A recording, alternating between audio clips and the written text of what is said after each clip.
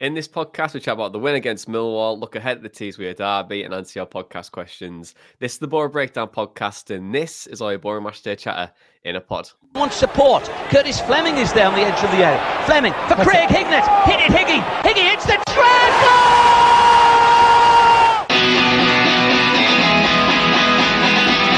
Ravanelli coming alive again. Juninho wants the ball played to him. Ravanelli spots out Emerson!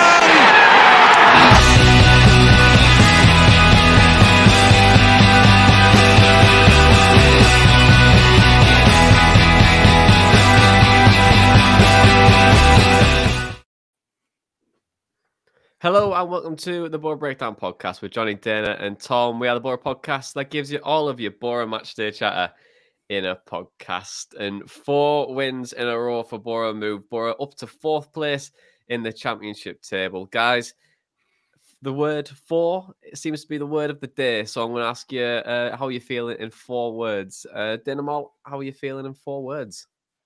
We are insanely mint, are my four words. And I remember the reverse fixture at the Den against Millwall, and we had this big conversation around the application of the players and not having any leaders. I mean, that conversation always seems to pop up anyway. But the second goal that we conceded that afternoon, Zian Flemming second, it was just a, a real lack of responsibility being taken by the players. Nobody owned up to that situation. It was a set piece, nodded back at the at the back post, I think, and, and he was completely free. So there was just a, a general lack of responsibility being taken and control being taken of that set piece. And yesterday it was the flip opposite of that there were players that were taking control of the game. Jonny Howson in the second half was fantastic. Dael Fry headed everything away. Some fantastic interceptions and tackles from Tommy Smith. So, and they were they were just three players really. It was just a a, a nice flag in the sand that Boro planted yesterday of the progression that we've seen, and and I can't believe it really. I mean, seven uh, wins in eight uh, under Michael Carrick is is really impressive because I think he's beyond his new manager bounce now. I would say that's the first five or six games, but I think yesterday was his 12th. So it's really impressive how he's been able to turn things around at Middlesbrough. Um, it seems like we are, uh, I don't want to say the real deal, but this is more than just a, a flash in the pan. You know, this is the Middlesbrough that we're seeing now. And, you know, we deserve to be where we are, which is really good. Tom? Uh, some of our words would be had to be tough. Um, I thought yesterday Millwall played. I mean, I mean, you said it in our group chat yesterday. Millwall played exactly as you'd expect Millwall to play. They're always a, a tough team to play. They're always a physical team. Uh, the ref seemed to be happy to kind of like let the game go quite a lot, which was absolutely fine. But it was a very physical game, um, and I think lesser teams could cave in that situation. I think if your if your mentality is not all there, it could get into your heads that you know you you're getting battered at, at times. But I think it, it kind of really uh, joins up with what Dana was saying there about everyone kind of taking responsibility. There was no one who wasn't up for the for, up for the challenge yesterday. Uh, everyone played extremely well, kept their their focus on the uh, on the target, and I think even when we went 1 0 up and Jake Cooper ended up getting subbed off for them, I think Millwall could have easily crumbled as well. But it seemed to serve more of a, a wake up call for them. Um, and then they spent, you know, large spells on, on the attack from from there, I would say. But we defended really well and res- uh, really resolutely from there. Um, and again, just just kind of goes to show the uh, the mentality we have. I think Dael Fry said it in his uh, post match interview, where he says everyone's really focused on getting that clean sheet. Um, I, I, think you know credit to, to everyone for for getting that uh, getting the lead, keeping hold of it, and, and coming back with a free. Well, coming back we were at home, but um, coming away with the three points uh, yesterday. Um, yeah, no, no, I agree with you both. Like it was um really good display yesterday. Um, but the four words are going to be a, a clean sheet, Don. Um, I think yeah, it's it's always really good to, to have a clean sheet, and you know, I think the, after the Millwall game, it was why is our defense so rubbish? Why can't we defend anymore? Um, this is we need to improve on this the most, and you know, to get a clean sheet after that is it kind of nullifies the comments that, that, that come out, but I think defensively we were we were okay yesterday. Um, a very sensible display. Really, I think it was although it was a good win. Maybe I'm, I'm taking it for granted a little bit, but I just felt it was just dead sens- sensible. We played reasonably well. Everyone played like good, but like it was a good where like no one was a massive standout. It was just like everyone was was good on the day. They did their jobs, and um, we we were really professional in how we played, and were able to break a, a tough Millwall side down um, in that compact shape that they were in, and it was really really good, and it shows uh, credentials that we can break teams down, and also we can rally when we need to when the game starts to go their way, and we're able to, to come away with the three points. But uh, Tom, how would you assess the overall performance against Millwall? Well, like I said, they were a, a, difficult team to play against yesterday. I thought I, I do think they're uh, they're doing really well this season, and it shows. Um, I was on the uh, Millwall podcast uh, opposition preview show the other day, um, and what they'd said to me was their away form kind of was really up and down this season. They never really knew which Millwall they were going to get uh, when they go away from home, um, and they wouldn't have been surprised if you know they they kind of turned up expecting the draw. Uh, they said, you know, obviously everyone always wants to win, but I can see us kind of setting up for to try and take like a draw and, and just get a point from this game. And I would agree with that that assessment. It did seem like that yesterday. They did have chances, but I don't think they they really threatened us too much. Um, I never kind of really felt like we were in a, a lot of danger. There was only one point in in the first half, I think it was, where I can't remember which of their players it was, but was allowed to run through the middle um, with, with no one kind of like really closing down. They're kind of stepping off and closing down the angles, and the shot ended up going straight at Zach Steffen. Um, but that that's kind of really all I can remember them them doing. That said, it, it took a lot for us to to break them down. Um, and again, going in nil going in nil nil at half time, I did think that you know we're going to come out second half better for it, and then we've spoke about it before. It's it's just a feeling I'm regularly getting now with with Boro. Uh, even if we're going in like a goal down, knowing that we can come out second half and, and turn it around. I didn't think Forss was having a good game first half, and as well at, at half time, I was thinking he's going to come back out and have an absolute like blinder here and probably end up scoring. And and he did. Like it, I don't know. It's, it's weird with Boro at the moment. Like going in at half time, someone could be having one of the worst games you've ever seen them have. Not that Forss was any uh, yesterday anyway, but just knowing that they're going to come out completely different second half. Um, you know, we kept, we kept pushing, uh, kept trying to break them down. Um, got that goal eventually.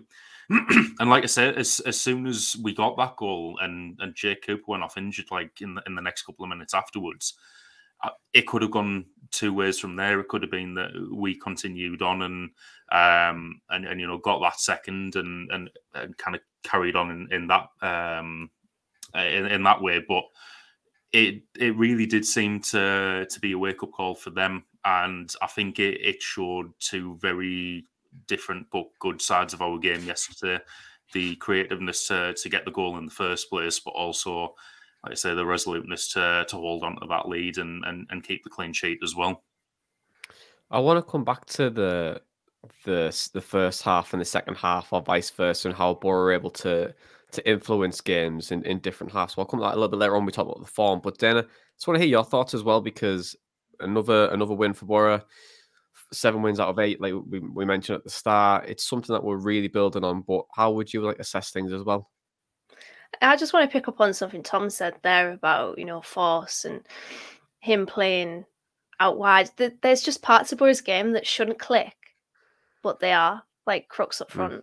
Forss out wide, um, Akpom playing in that deeper role. It's just all very good at the moment, and I think we saw yesterday a different part of our game. We have been playing well, but I think we played a little bit of the ugly stuff yesterday and we had to dig in. I think Dael Fry said it after the game, it's always going to be uh, ugly against Millwall because they make it so. And Boro negotiated that really, really well. They were set up in a, a very structured 4 2 3 1 and at times a 4 3 3 um, out of possession with Zian Flemming and, and Voglsammer sort of trying to to push on, but they weren't really pressing. They were more cutting off those passing avenues to Howson and Hackney, who tend to have a big influence on uh, proceedings and basically progressing the ball through the third. So I think at times, Boro, you know, we had to be patient, and there was a lot of impatience around me in my seat in the East Stand. I didn't quite understand it because, as Tom touched on there, we are, are, a good team at coming back after the break and really seizing the game and stepping it up. And I wouldn't say that that's because we've been poor in the first half. It's just, as I've mentioned before in this podcast, the natural progression of that football match.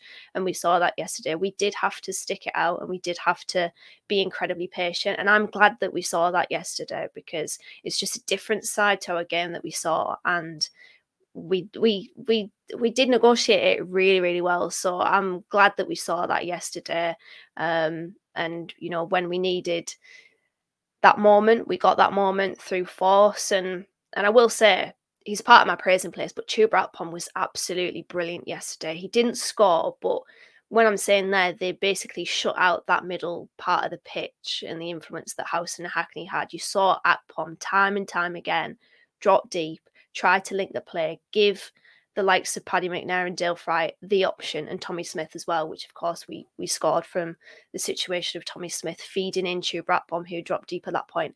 It was just a really, really professional, as you said, Jonny, performance that ticks yet another box um, for Michael Carrick. Yeah, um, and it that professional side of things, you know, games aren't going, aren't, going, aren't always going to be exciting you know you need a bit of patience in games, and I think I can understand why why fans get frustrated because you want to be heavy metal football. You want to have so many chances. You want to score 30 goals in a game. There'll still be someone that mourns at the end of it. Uh, but you know, it's it's the aspect of you know you got to calm down and understand that it's it, it is process sometimes, and you've got to just play through games. And you might not always get the right result on the day, but over time it'll compound, and and you'll hopefully try and get something good in the long run because all the Boro's underlying numbers have been good this season. It was only a matter of time. You have to understand what process can we do a tweak here and there? Can we change the environment and improve Michael Carrick? And we have started to to get results. Um, but I was intrigued yesterday uh, by Millwall, and you know, it was like professional performance and how Millwall set up and how we we speak about shape and when we you were saying that then about four two three one, I I found that Millwall were in a, a, four four two for long periods of the game yesterday. Um, in a four four two where uh, you're looking to try and have compactness um, with with it out of possession. So what will happen is you, your nine and your ten or the, the four three one, or sometimes a four three three because you can you can adapt your shape um, with a four four two because it is can be quite flexible in how you how you operate it to be but it gives you a nice balance. And that balance um, and what Millwall were trying to do yesterday was to create a mid block, um, enforce out wide, control the central areas.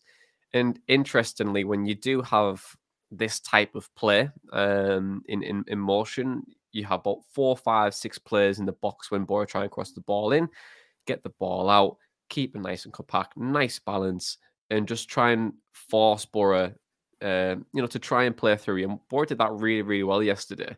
Um, and what you'll find found is in Boro's shape is that we probably weren't in our in a standard four two three one, and you won't sit in if you look at Boro's shape for for all of the games no Michael Carrick, we we don't really play for a four two three one. It's more, it's still a three at some points in the game where you've got Tommy Smith, um, uh, Dael Fry, and, and yesterday was Paddy McNair occupying that three what really interested me yesterday was how high uh, Ryan Giles was up the pitch. And Boro were technically playing a 3 2 5 um, for more, more periods in the game. And you can see this with a lot of teams this season, with more possession based teams, are looking to try and occupy this 3 2 5 space because one, you can help play through the lines, and two, you get your wing backs forward, and also you try and get the ball uh, into the the mid third and through the lines of what they were playing with a 4 2 3 1. The downside of a, a 4 a 4 4 2 um, or 4 2 3 1 at times, it can be really strenuous in midfield um, because if Boro are trying to pass the ball from side to side, which they did, they had 66% possession yesterday, 85% pass success once you try and get from ball to side side, you've got some space in behind. If, if the gap between your centre back and your centre midfielder is a little bit too big, you've got the likes of Chuba Akpom, you've got the likes of Riley McGree to try and get in behind in those little spaces. And you'll get the ball through the middle, and then you try and get the ball out wide. So then you're stretching a team nice and out. And then from that, you're able to get the ball in the box. You've pulled a couple of defenders out, and you should have the space in the middle to to get a to get a shot away. Um, with Boro's goal yesterday, um, obviously we'll come to it in, in just a moment. Uh, then, but we found that yesterday, get the ball in the middle, get the ball out wide, stretch the midfield out, and then hopefully you'll get him behind and create a chance from there. And Boro did that really, really well yesterday. But Boro's shape's really interesting. We could do probably a little bit more on it in the next couple of podcasts. But Boro's shape is is being really good. We co- we combated that that 4-4-2, 4-2-3-1 shape that Millwall trying to occupy. But they just came yesterday, came for a point fine for them to come for a point. It's a really, it's a difficult place to come for a team really in, in, form. But the way that they play was just very balanced across the pitch. They didn't really want to give too much away going forward. They didn't want to give too much away going in behind, and they were happy just to sit in, get the ball in possession, uh, get on on the on the on the press from McNair, or if someone gave it away midfield, they were able to press with numbers and get forward. But Boro really, really good yesterday, limiting that. But in terms of Boro's play, Dana, it was a game of patience because, like we were saying, there the compact shape nature of it. Um, they're looking to try and make frustrate Boro, get the win the ball in certain areas. The press was really key on McNair yesterday for for periods. Um, but how were they able to to break through in the second half? I think it was just a culmination of that patience, really. Howson really impressed me in that second half because I think he was dropping into the space between the lines a lot more that allowed the progression of play through the thirds. It allowed the defence to have an option there, uh, much like, you know, Akpom dropping deep from an attacking position. I think Howson was getting into those key pockets and we were good at, and we have been good under Carrick, I have to say, at picking up those key areas of football match and dictating the game based on space. And Howson in that second half managed to do that. And I think he was imperative, really, to obviously the goal because it was his ball played to Marcus Forss that just cuts through Millwall. And we'll talk about that in a minute. But I, I also thought Millwall tried to step on us a little bit more in that second half. And I think because of that, Boro were able to maybe pick them off a little bit more. In the first half, they were sat back, they were sat in, they tried to contain us. And I think they probably had Boro in less dangerous positions and less dangerous areas of the football match, which I think at half time Gary Rowett would have liked. He probably would have wanted to see a little bit more attacking venom from them. But at the end of the day, I think he was by large limiting Boro to areas of the pitch that they would want to. But then in the second half, I did notice they tried to step on us a little bit more, and then Boro were able to play through that because of uh, you know Akpom, the influence that he had on the game, and then also Howson just honestly took the baton and said. I'm going to seize control of this football match. And he absolutely did. And he was brilliant in that second half. Um, and the goal just epitomised the the patience and we got our just rewards for sticking in that game, dominating possession, making sure that we were the ones that were in control um, in the driver's seat. And it was, I think, personnel definitely impacted that.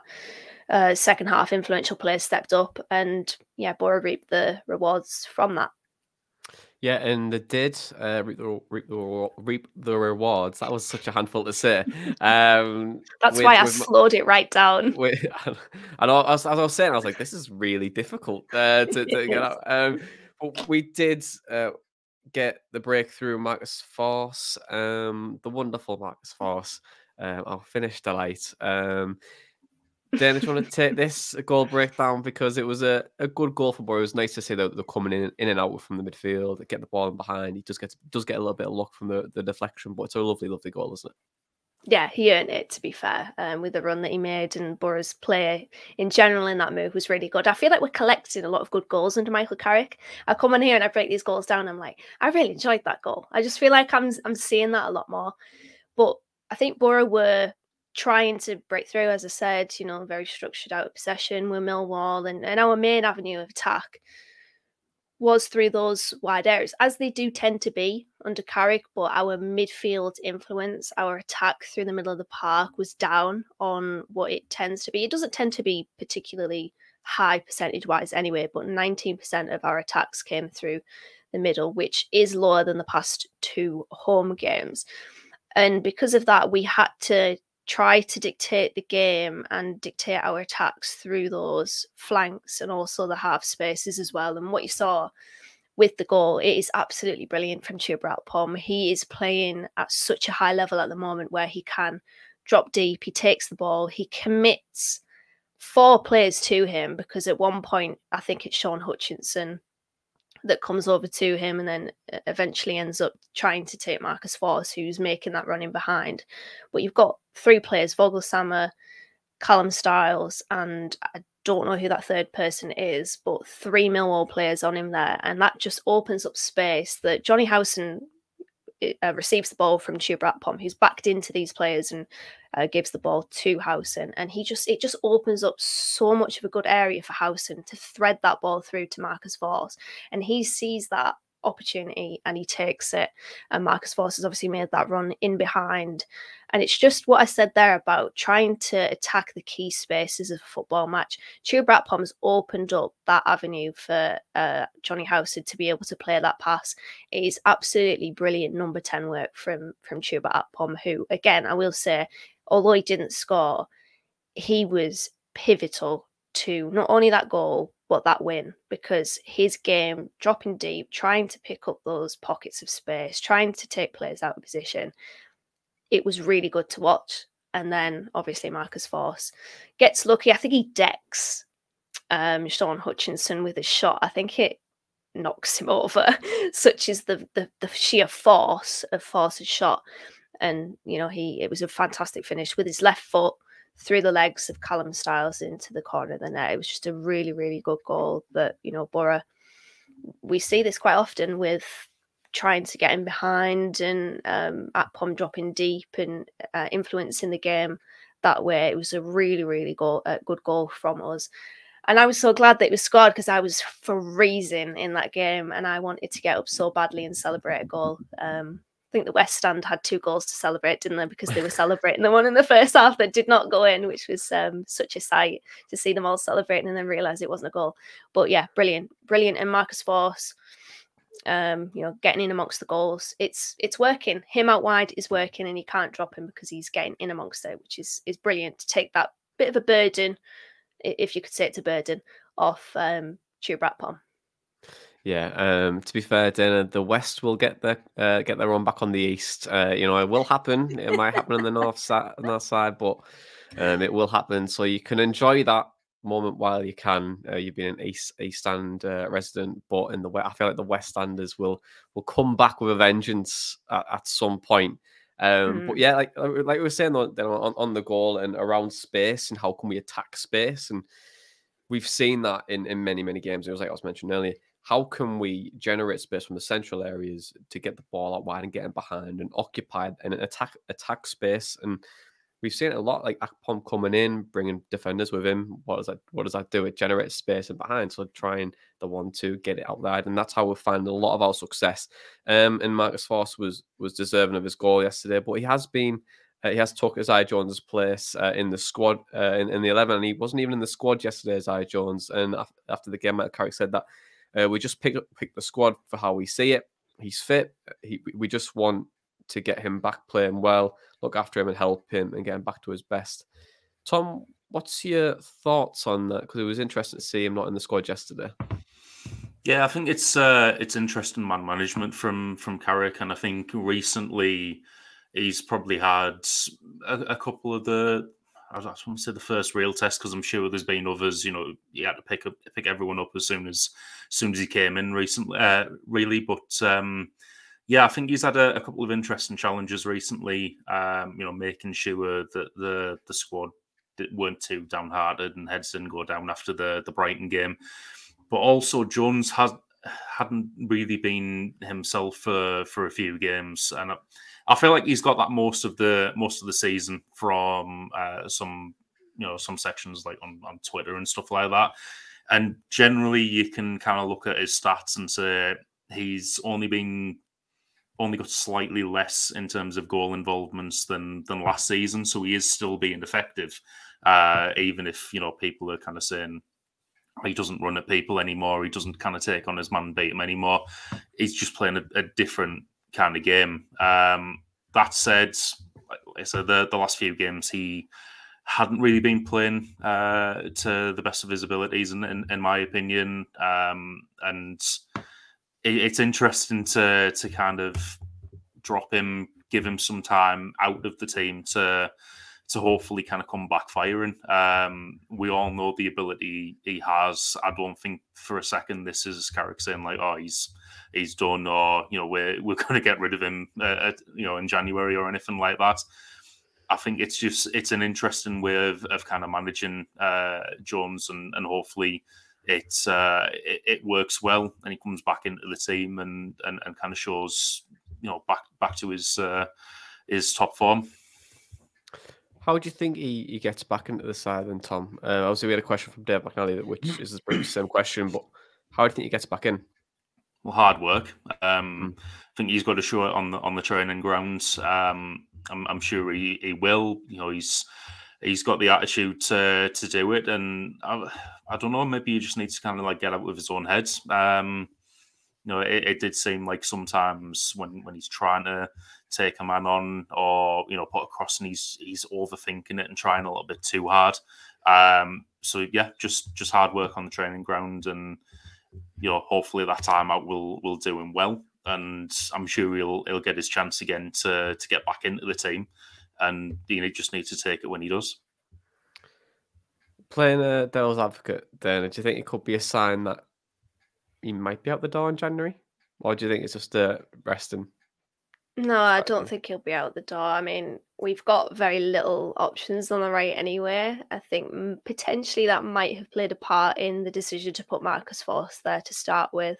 Although that could also just be he saw something in training, much like how he did with Chuba Akpom, and thought that Marcus Forss could play that that right wing role. But I don't think he will be out the door. I just can't see that happening because Jones, when he is on form, is a very, very good player and he's a very dangerous player and he's a very good weapon to have in Boro's armory. So taking that away, I think, in terms of the squad, would take away a very good option in that squad. And I don't think I don't think he'll be off. It, this is just how he reacts to it now. And as Tom said in training, in cameos that he gets if he gets on the pitch against Sunderland. It's how he reacts to that. You know, Carrick is giving him a, a mission here, basically, uh, to to respond. And and Carrick's not afraid to to drop players, is he? I mean, he, he dropped Cristiano Ronaldo. He, he was the first one to see the light before everyone else did. So yeah, it's um I think it's good. I would say it's good man management from Carrick. He was honest, but he wasn't brutal. And it's just they do want to help him get back to his best. And sometimes you just need to almost reset. So hopefully we could get Jones back to, you know, the form of last season. But remember, as I said last week, it's a different setup, it's a different manager, it's a different formation, different tactics. It's not going to be exactly the same, but um, hopefully we could get him back and and performing well. Hmm. With someone who's been absent, but I want to talk about someone who's been ever present, um, that has been for probably 200 games now. Um, it's Dael Fry. Um, 200th appearance for, for Boro yesterday. It feels, God, like can't believe it was like against Preston under Aitor Karanka made his debut. That mm. feels like feels a long, long time ago. That, um, but you know, he's he's still really young. Still, he's got a lot of wealth of experience. Um, but he's how do you think he's been playing as of, as of late, Dana? Because he seems to slowly come back to his best again. Yeah, and I completely forgot that he was out of the team at the beginning of the season. It was mentioned to him by Mark Drury on BBC Tees yesterday. And it's really weird to to think that because, I, you know, when I think of Dael Fry over the past few seasons, I have thought ever present. But he spoke incredibly well after the match yesterday. And I was pleasantly surprised by that because in the past, I think you've probably heard Dael Fry talk like a young player, you know, much, much like how you you hear of quite a few where it just sounds like they don't want to be a part of the interview. They're just saying as little as they can to try to get out of it. And in a way, I feel like his quite self assured interview yesterday is in turn a way of you know it, it, sort of feeds into his performances on the pitch as well because he has really grown he's a lot stronger a lot more of a physical presence and this really started last season, I think, or probably the season, a little bit of the season before under Warnock, where he was really stepping up and standing out in defence. He was absolutely fantastic yesterday. The amount of times that I saw Dael Fry just leap in the air and, and head the ball away was brilliant. It was ridiculous, but it was brilliant. And he was absolutely fantastic. I think in terms of um, aerial duel percentage, 71% won, which I think was quite low compared to what I thought it was and what it was yesterday before FotMob updated their stats. But it was uh, just a really strong performance from him. And if it wasn't for Howson's second half display, I would probably say Dael Fry man of the match. But just such a, a, an assured person as well as an assured player. You know, I think they go hand in hand there. So really happy to see Dael Fry. I was there for his debut against Preston in that away end, a Deepdale. I think it was nil nil, um, and he's just grown massively. It, it, I think, admittedly, for him, it probably has taken a while because he was on the periphery a lot of the time. He wasn't quite the main man in defence, but he's absolutely the main man in defence now. And yeah, really happy with his performance. He was brilliant yesterday. He was. Um, but let's move on to Boro's form. But actually, you know, just before we do that, I want to give a, a, little plug for our merch at the moment because as a few, a lot of people are aware that we we partnered up with uh, T-Side uh, this season, and, and all of our merch that we that T-Side make goes to um, the Motor Neurons Association. So everything that you uh, you, you buy um, goes 100% of it goes to the MNDA, which is really cool.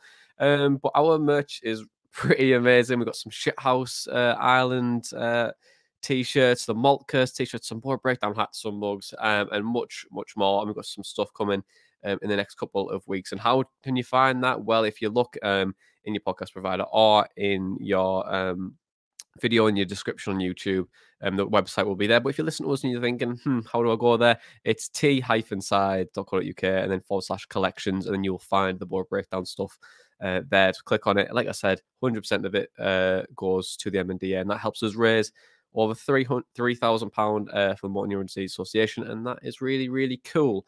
Um, now let's let's chat about Boro's form then, shall we? Because seven wins in eight, four wins in a row, 2.2 points per match under Michael Carrick. Tom, um, last week it was all doom and gloom. Five-one defeat to Brighton. They went on to beat Liverpool yesterday, three goals to nil. Um, so much for it's only Brighton, eh? Um, but are, you, are you glad with how well Boro reacted uh, yesterday? Well, firstly, I'll, I'll, say at least we scored, so we are clearly better than Liverpool. But uh, um, yeah, re- really happy with the the reaction yesterday. Um, I, I, think I was I was a bit wary going into the game uh, after that five one loss. I think there's a couple of ways that it could potentially go after that. It could just be the, the heads are down, and you know it, it does take a while to to pick back up. But it seemed very much kind of business as usual yesterday. It was like like Carrick had said in his uh, his uh, press conference, like everyone was just kind of told to forget about it, move on, and and you know we, we go again in the um, in the championship, and it definitely seemed that like that that was the case. Um, I didn't see any kind of hangover from that that loss yesterday, and like I say, very much business as usual. So that that is giving me confidence in this team, and you know confidence for for the next couple of games as well, which are, are going to be really tough. Are you surprised about how well we've we've been able to turn this around? Because, like, and obviously take take the Brighton game out because that's just a one off. But from where we were in October to now, it's incredible, right? You, it, no one could have seen that coming. No, I don't think anyone could have. Um, I know us three were didn't really know what to expect from from Carrick when he came in. He was a, a, a bit of an unknown, um, unknown quantity really. Uh, we'd only really kind of had his his three matches in charge of Man United to go off, but the way that he set us up tactically, but also managed to to pick the players up, get the you know improve the the team cohesion, and you, you can see it on the pitch now. Um, you know, after after Forss's goal yesterday, I think it was only Zach Steffen who wasn't up the pitch, you know, 90 yards 90 yards away from him celebrating, which you can you can understand, but everyone went and joined in with that celebration. You can see the the togetherness of the team and the way we're set up now, the football we're playing. I think I will say I knew we could do it because the team that we built for the start of this season it was clear that we were going for for promotion or playoffs with the team that we had, uh, and and we've been assembled to to play possession football. We obviously weren't playing that way under Wilder at the start of the season because uh, of all the uh, individual mistakes and, and stuff like that. Uh, really, I think it was only individual mistakes lined with, with one person by uh, by the looks of it now. But um, yeah, we knew we could do this, and it's it's you know credit to Carrick and the and the coaching team that they've been able to to bring it out of the players and and really kind of turn it around from from where we were, what twenty first, twenty second in the league to to now. And I said on the um, on the Millwall podcast the other day, like we've got Millwall, Sunderland, Watford in the next three games. If we come out of that with you know at least six or seven points, but ideally, you know, if we won all nine, if we come out of that with with three wins, I'm going to be extremely confident for for the rest of the season, and and that that is just absolute credit to to Carrick because I think one of the things that keeps coming to my mind now is one of the questions that we had after uh, Carrick was appointed, where it's like, if you could take 15th now, would you take it? I'd said no at the time. Um, I, said yes. yes. I'd said no at the time, thinking I, I wouldn't want to kind of limit us, but I didn't think you know, we'd be where we are. I, I thought, you know, sixth, seventh, eighth, that that sort of area. But I, I didn't think at, at, that point we'd, you know, in, in what was it, twelve games time, be fourth in the championship. That's ridiculous. Yeah, um, and I feel like you need to mention as you were you were talking there, you did do a quotations mark, um, and I just realised people that listening was will have no idea that you did a quotations mark about individual errors, but we'll we'll let that slide. But um, yeah, on on on the turn it around, uh, then where do you think we can go now? You know, obviously you said that you were happy with 15th at one point, but now, um, where where do you think we can go for the rest of the season? I think we'll be in the top six. I'm fairly confident in saying we'll finish there. Um, I don't know whether I'm going to jinx it or whether I should maybe calm down my confidence there, but um, I just think the championship is crap, to put it bluntly, and I. I mean that's not that's no slant on Boro. I think Boro have been brilliant, and that's why I think we'll be in the top six. But yeah, I, I, think we can get into the top six. Whether or not we can win the playoffs, I do not know. Um, I'd be wary of certain teams, but I think the way that we're going, obviously, we're still going to endure some bumps. It's going to happen, but I think I'm pretty confident in just the whole ensemble that we have right now under Carrick. He's very calm. He's very assured. I think he's a manager that if we do get beat, we can react fairly well. So um, yeah, I think we could get into the top six, and you know where we place there, third, fourth, fifth, sixth. I don't know.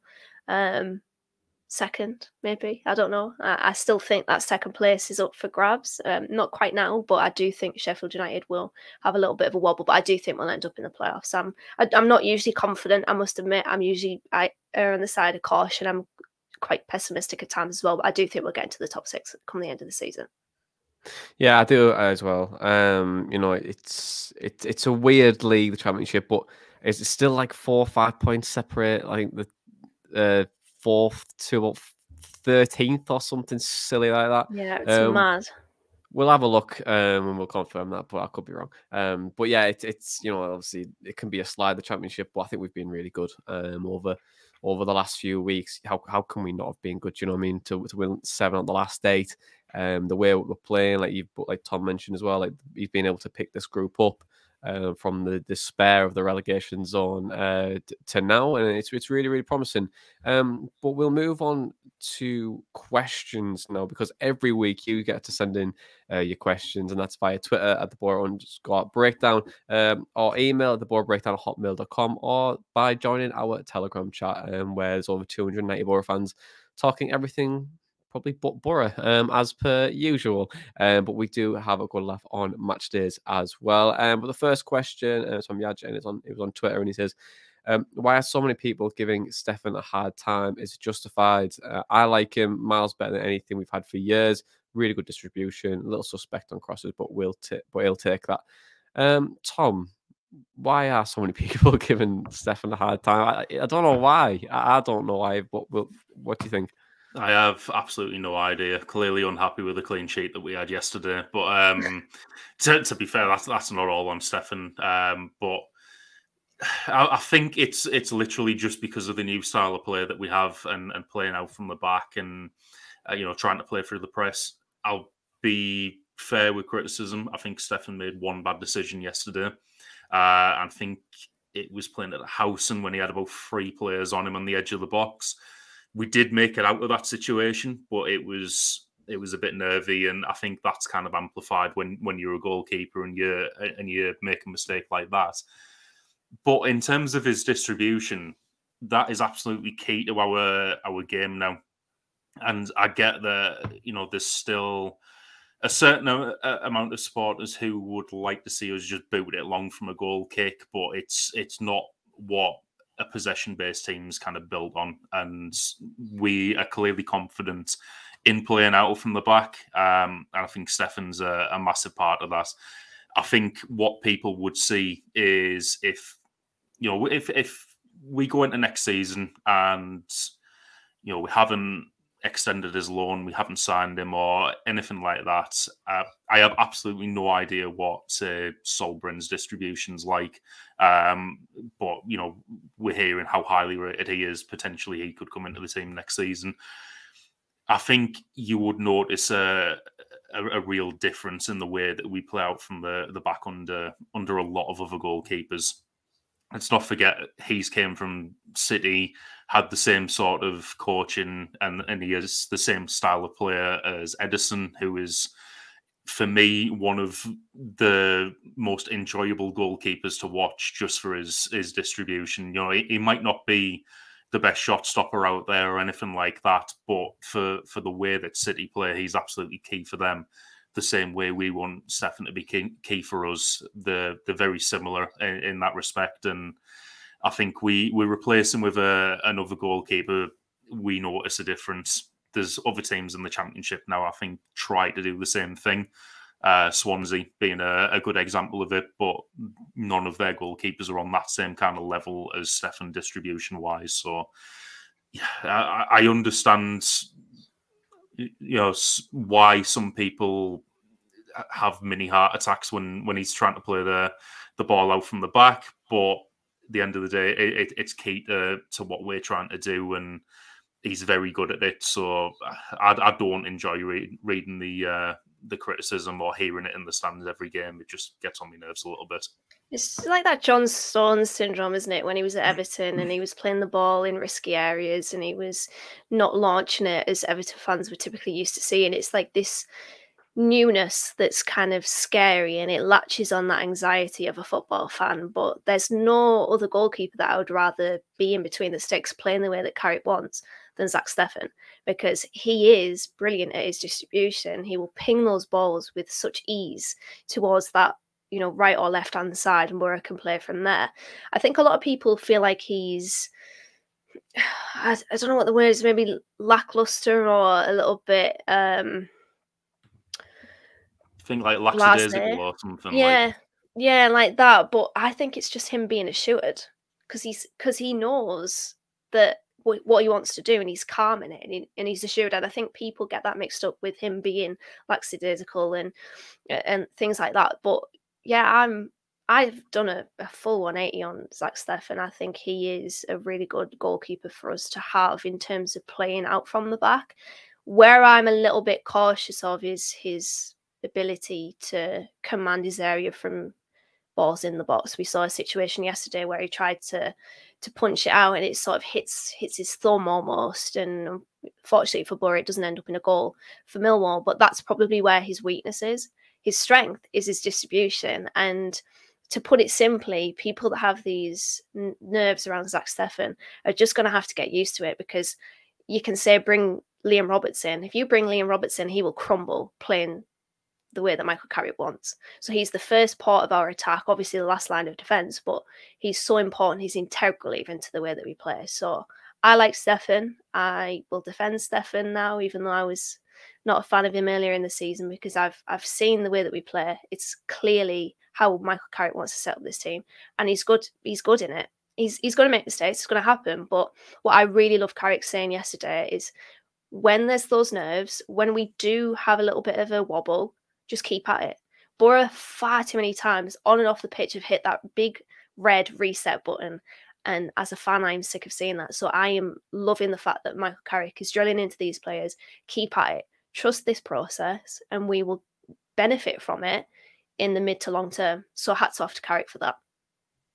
Yeah, and, and the way Steffens plays as well, it, it's all about break and press and creating space for our wingers to get forward, and you know, and playing out from the back is is something that you know all, all the all probably the best teams do now. Um, but it is you know, you know, it's been this principle from from from a few teams now. But in terms of like how Steffens' distribution is really good, at, I never see him give the ball away, which is mad. Even if it's like uh, like a long kick or like the short kick, playing the ball at the house and yes, which you know I think where and try to play it back out of Fry, he takes three men out of the game, we get forward and, and behind of that. But you know, just didn't really work out yesterday. But Howson did actually ask for the ball. You could see him like like really asking for it to try and spread out. But um yeah, in, in terms of Steffen, like we can manage like his weaknesses ever so slightly, I think, with our defenders as well, because when we go for cross, just play a little bit deeper. Do you know what I mean? Like just to make sure we can get the ball away from uh, from Fry and, and Lenihan try and command it that way.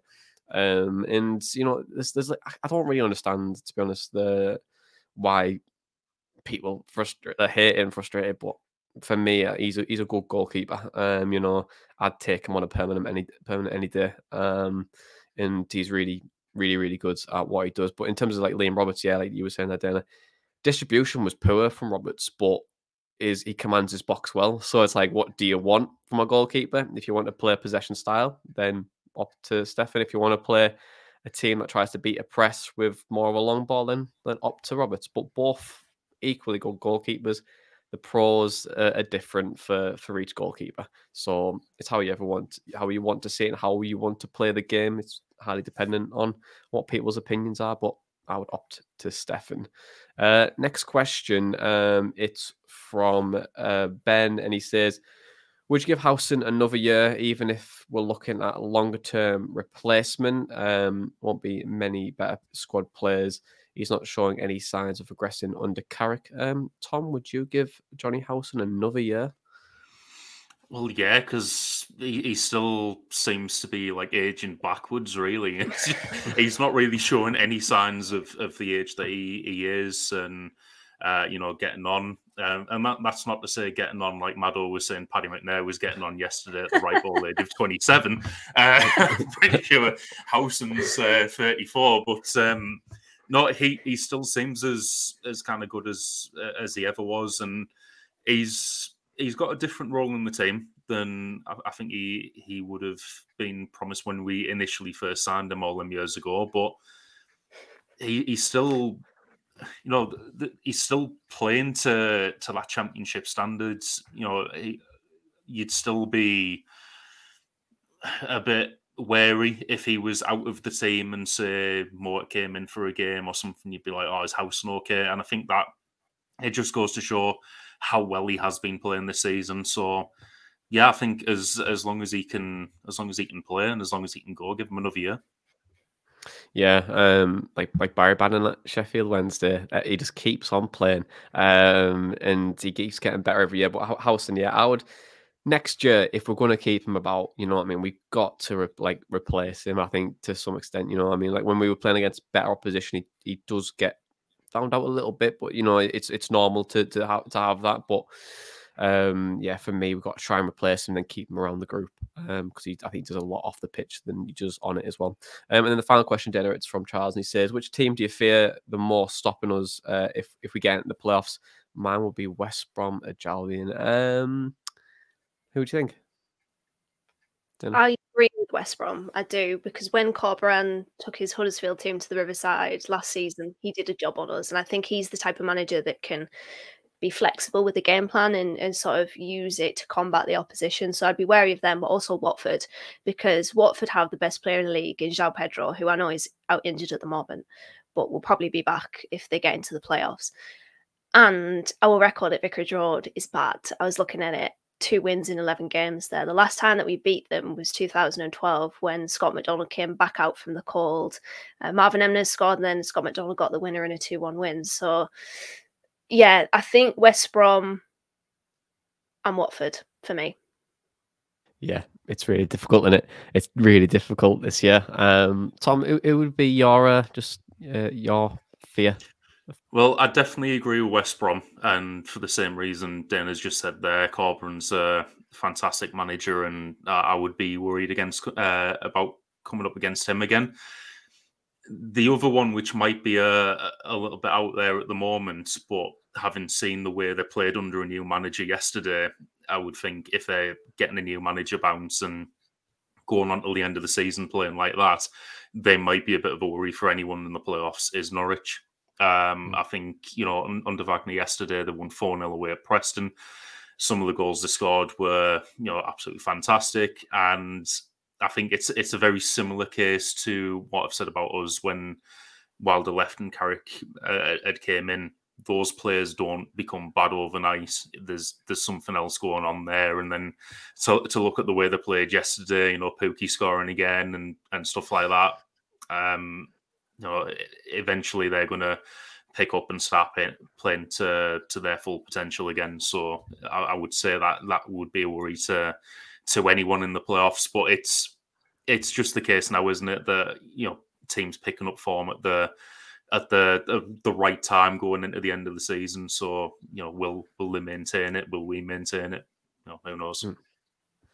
Okay then. Well, let's move on uh, to the Praising Place then, because the Praising Place is the place we like to give praise to a fan of Coach, uh, Teesside Tom, our Tom, Dynamo uh, on BBC T. Jonny Bullock. No, I'm not giving myself praise. I have to earn it first. um, on this. I, I need let, let me present this first, and I'll give myself praise afterwards. But um, on the Praising Place, then who are going to give praise to? Uh, Dana Malt, who is your person in, or person, or thing, or anything in between, um, in your Praising Place today? Well, I already said mine earlier, didn't I? Chuba Akpom. Um, the Championship Player of the Month, despite not scoring yesterday. He was just really, really good. Much like how I said uh, last week about his performance against Black, uh, Blackburn. I always got to say Blackpool instead of Blackburn, but brilliant. You know, it didn't score, but still just patches and stitches up those patterns of play. You can tell he knows exactly where his teammates are, and he is so so influential on this unit. So yeah, for me, it's it's Chuba Akpom. Um, the loving with him is just absolutely brilliant. It's so wholesome. There's no no more popular goal scorer than Chuba Akpom, and I know obviously he didn't get on the score sheet against um, Millwall, but still hugely important to the way that we play. So yeah, Chuba Akpom gets in there. Tom, who gets your place this week? So for me this week, it's Dael Fry. Uh, I thought he was absolutely excellent yesterday and really um, embodied that resoluteness I was on about earlier, uh, where we were hanging on to the lead. He was getting on to getting his head onto absolutely everything. Um, and what I will say as well, you know, he's been playing since Luton with a face mask on, and I think it, it's easy when you're when you're playing football and playing through through an injury to kind of shy away from things. Um, you know, Jonny, I'm sure you'll have, have stories of playing with injuries as well. But Thanks, like, I've, Thanks for the I've, I've, played with like, over here. I know, yeah. I was say I've played with like broken fingers before, and I think it's tempting when you're trying to block a shot to like stick your hand behind your back or something, so you're not getting in the way. But for him to be playing with a clear facial injury and still wanting to get his head onto everything, I think that just shows just like such a, a bravery on the pitch, and it, it, just it doesn't look like that actually affects him at all. Um, I think just add on to that that yesterday was his uh, 200th game. Just I thought he was absolutely phenomenal yesterday. Mm. He's like a six foot Dale Mysterio with a mask on, isn't he? Um, but, yeah. oh, he's bigger than that. I've never felt so small as to when I've stood next to Dael Fry. Yeah, uh, yeah. I mean, he's definitely taller than six foot one and either Marc Bola. But um, just want to go on on the warm up watch yesterday. Marc Bola is not six foot one at all. Um, but uh, in in terms of my Praising Place, I'm going to go with Marcus Forss. Um, in in on the goals again. I love Marcus Forss to bits. I think he's great. Um, he's just really, really good in the box.